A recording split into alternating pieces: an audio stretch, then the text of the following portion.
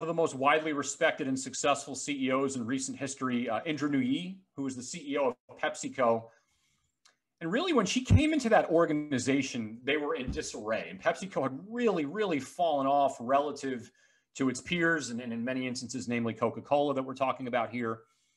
And what she did was inject empathy into that organization and a real personal touch. She did a lot from a business strategy standpoint of introducing new product lines. But in many ways, what she's remembered for, she was revered by the employees at PepsiCo. And it's because of the quote that you can see on the screen. And I, I love it so much that I'll, I'll indulge myself here to read it.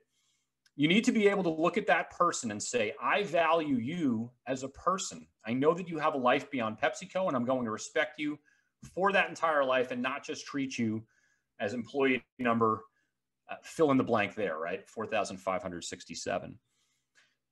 She was able to connect as a leader, not just with the folks on the senior level, but all across the board at that organization and showed that she valued them. She led first with empathy she took the time to listen to the people that she led. And it really made all the difference in terms of business success, but also in dramatically turning around the culture of that organization.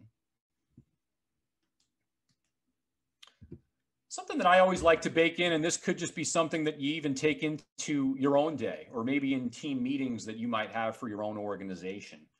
We talked quite a bit just, just now about having a positive outlook and maintaining motivation uh, for the long haul, not just on the day to day. So for reflection, for your own reflection, even after even after today, is this something that you maintain in the face of present challenges?